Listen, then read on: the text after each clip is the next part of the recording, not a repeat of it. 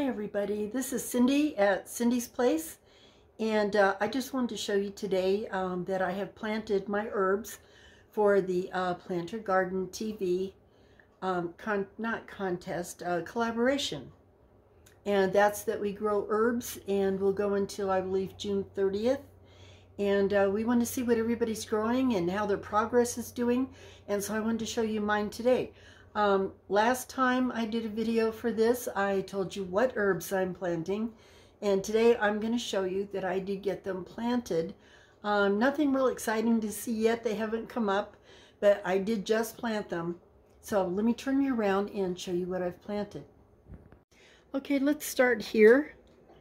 This is uh, curled cress, which is my first year of growing that, so I'm anxious to see. I don't even know what it tastes like.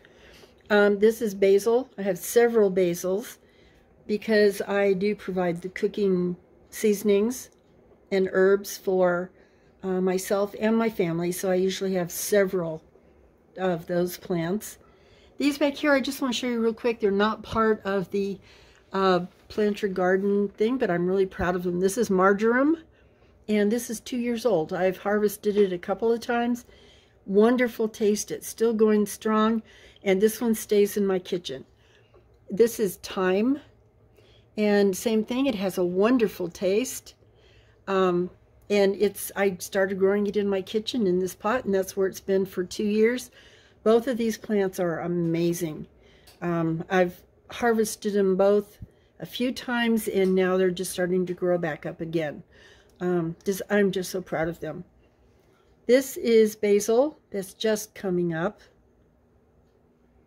And over here I have hyssop. I did four containers of hyssop. I have angelica. I have four containers of angelica. And I just plant them in the solo cups as you see. And I have four containers of fennel. And then skipping over here, th this in here doesn't count.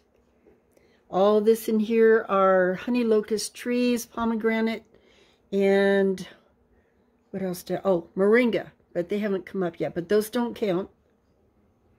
Um, this is sage.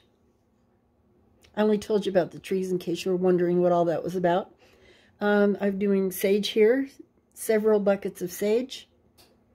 And the rest of this is the honey locust trees, so those don't count. But that's what I have so far. And uh, that's the herbs that I'm doing this year. I already out in my herb garden have mints, uh, yarrow, chamomile, um, oh gosh, chicory.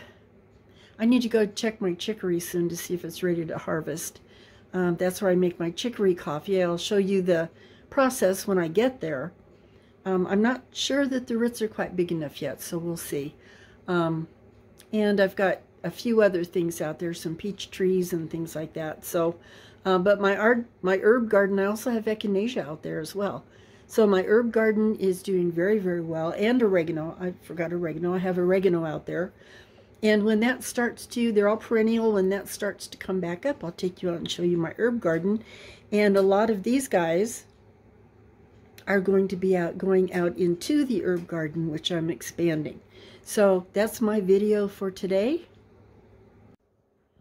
So thank you for joining me and um, giving, uh, I hope you enjoyed my update of my herb garden.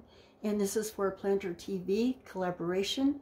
And um, we'll see you in another week or two when these guys start popping up. And I'm, I'm just so excited to get started on my gardening.